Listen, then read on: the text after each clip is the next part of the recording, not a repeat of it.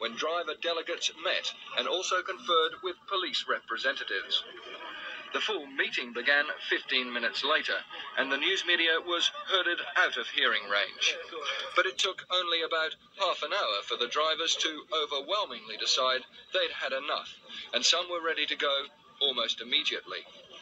As they left, some expressed regret that they had not fully achieved their demands.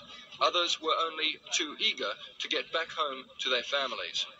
Though some said not enough had been gained, their leader Ted Stevens explained the decision this way.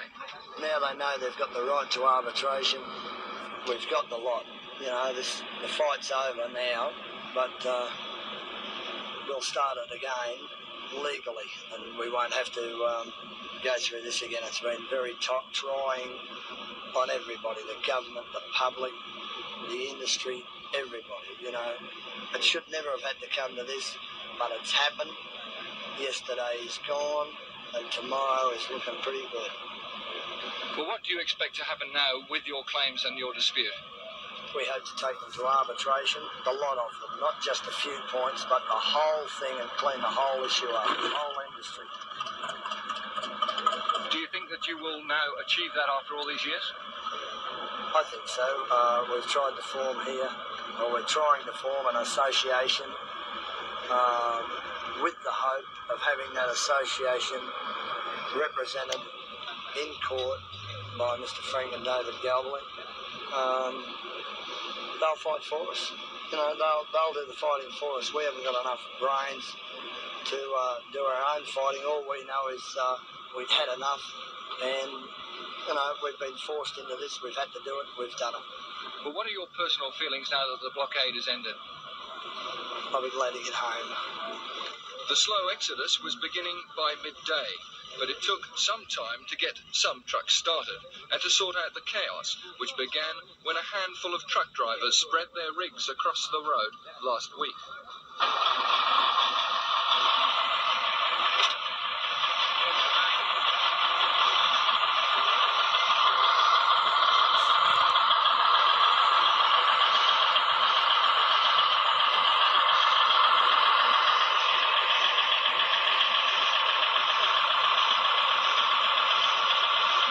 The Here on Razorback is clearing, and by tomorrow there'll only be the oil on the road from the trucks and the debris of the campsite to mark the end of this long fight.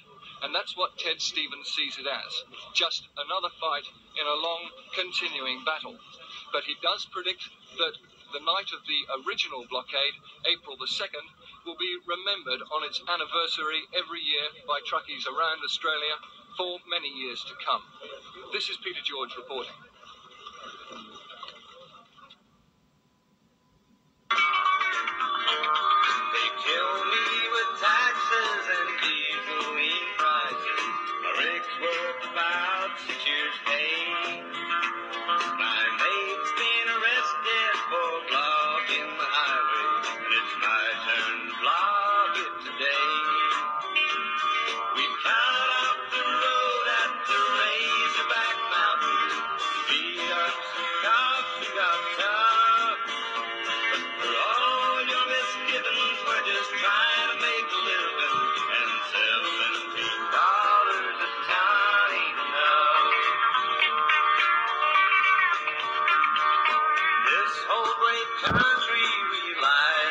Truckies.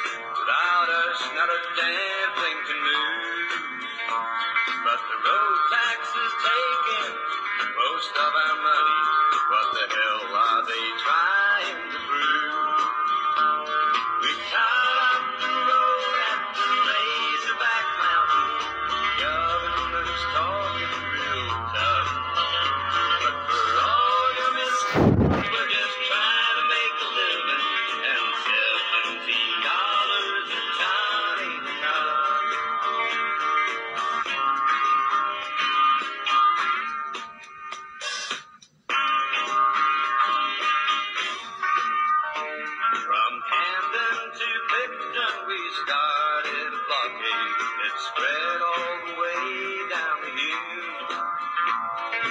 big